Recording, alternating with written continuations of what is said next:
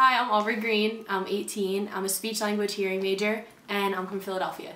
Um, I picked La Salle because it's one of the best schools in the area for my major. I also like that it was close to home because like I can go home on the weekends, but I can still it's still far enough where living here is nice. Um, I think my favorite part is like I didn't think I was gonna like a small school. Like I wanted to go to a big school where like no one would know my name, but like here like teachers know your name, and I really like that because it's kind of like high school again. Like they get like a relationship with you. And I think what I dislike are the old dorms.